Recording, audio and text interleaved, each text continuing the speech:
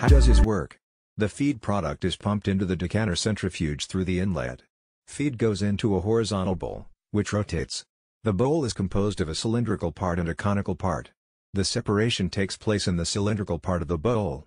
The fast rotation generates centrifugal forces up to 4000 xg. Under these forces, the solid particles with higher density are collected and compacted on the wall of the bowl. A scroll, also screw or screw conveyor, rotates inside the bowl at a slightly different speed.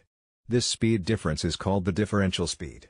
This way the scroll is transporting the settled particles along the cylindrical part of the bowl and up to the end conical part of the bowl. At the smallest end of the conical part of the bowl, the dewatered solids leave the bowl via discharge opening. The clarified liquid leaves through a paring disc.